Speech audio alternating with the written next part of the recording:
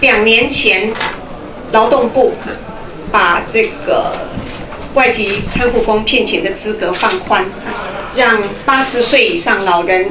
呃，八四量表六十分以下就能够聘请。那么外籍看护工的人数就呃往上窜，呃，到现在已经有二十一点五万。那么他在呃日前就宣布要进一步松绑。把八十五岁以上，呃，有任何一项那个生活功能，呃，有点不符正常，就可以请外劳，等于是针对所有八十五岁以上老人全面松绑。那呃，劳动部估计会有三万五千个外劳进来，哦，但是由于全面松绑，我们估计是会更多。旁边这一个图，呃。现在台湾各式长照服务，它的呃类型里面加起来哈，这个家庭外籍看护已经占到六十一趴，这是现况。那如果呃在现况下，大家看到，由于你外家庭外劳看这么多哈，我们虽然训练了十万个那个照顾服务员哈，可是有五十七趴他们都没有工作。尤其是我们最需要的、最需要发展的这个居家服务，这里只占了八趴，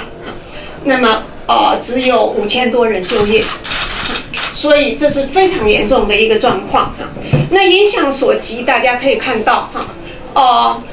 劳动部说要让外劳进来，那可以让台湾女人没有后顾之忧去工作，但是另外一方面哈，呃，由于结构性的因素。大家知道外劳品质也不良，所以使用外劳的家庭几乎都还是旁边跟着人，啊，你也不能够出去工作。然后呢，哦，他又抢走台湾，呃，使台湾因为外劳都被迫兼顾了所有的工作哈，然后就亲朋好友啊、邻居啊哈的家务工作也捞去做了哈，尤其轻度失能，根本就没有需要二十四小时一对一的照顾啊，那这些外劳去做什么？对。所以大家可以看到，台湾女性的就业率哈，跟这个呃有好的长照制度，然后用本劳的国家日本跟瑞典比较哈，台湾女性的就业率到可以看到红色的这一条是台湾女性的就业率，最高的那一条是瑞典，再来绿色的那一条是日本。啊，你可以看到台湾女性的就业率是这么低的，哦。好。那个劳动劳动部做这种宣布，但是另外一方面，卫福部哈，或者是执政执政党哈政府，信誓旦旦要赶快推啊长照服务法，啊要建构全面性的长照服务网哈，然后要让长照保险上路哈。那我们发现这两个两套啊政策是完全冲突错乱的，这令我们呃为这个政府哈。呃，每推一套政策就是错乱的，然后行不通，然后弄得更乱更糟，因此是我们忧心忡忡。这个十二月六号在那个劳动部发表了这个要再放宽外劳的措施之后呢，其实引发了一些就是关心长照议题的团体非常的忧心，所以我们今天必须要在这边严厉的谴责政府在呃前面做一套，后面再说一套，因为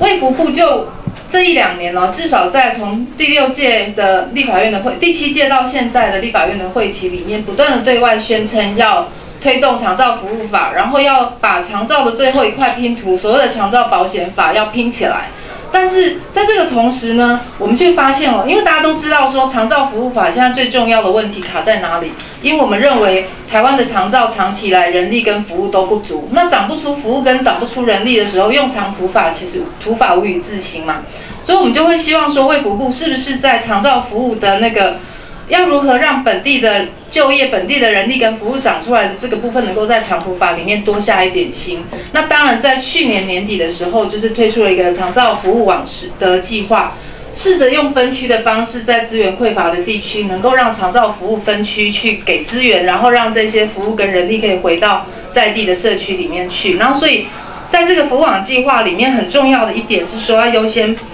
发展跟奖励社区式跟居家式的服务，因为我们都知道说，当我们去谈到老人要在社区里面老化的时候，你旁边有人可以照顾，这是很重要，就是社区里面的人力可以照顾老人是很重要，而不是把老人送到很远的机构去嘛。呃，真的要来谴责呃劳动部，呃，在最近发布的这样的一个讯息，我觉得他真的是，我常常形容是带头作乱哈，因为呃台湾正在推动整个长照制度的建立，呃，这主责工作是在呃卫福部哈，那已经很努力想建制整个长照的系统。诶，花了长照十年计划已经进行了呃七年。如果这个政策一推动，八十五岁放宽外劳的聘请，我相信整个会破功哈。好不容易建制起来的居家式、社区式的服务，可能很快的就整个都会打回原形。外劳的权益呢，如果没有得到保保障，外劳如果越是廉价的话，其实呢，本劳呢就越没有工作机会，